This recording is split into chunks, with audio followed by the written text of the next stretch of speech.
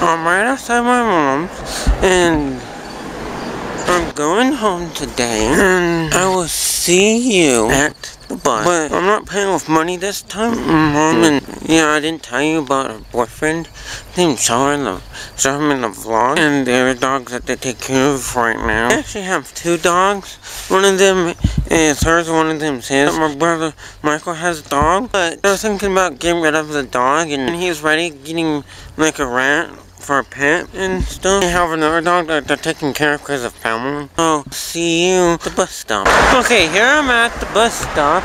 As you see. And I forgot to charge this camera last night. And I'm gonna, at the last stop I'm going to. So, I'll see you in Littleton. Quick update. Hmm. If my battery doesn't die before I do this update, is I'm at the light rail station because when I got off the bus, I just decided to take the all the way to from uh, Thornton to Littleton. I'm not going to tell you where I live. I'll see when I get home. Okay, I'm not home exactly yet.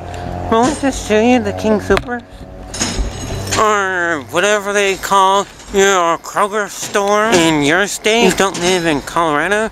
They're building it really quickly, quicker than I thought. I see.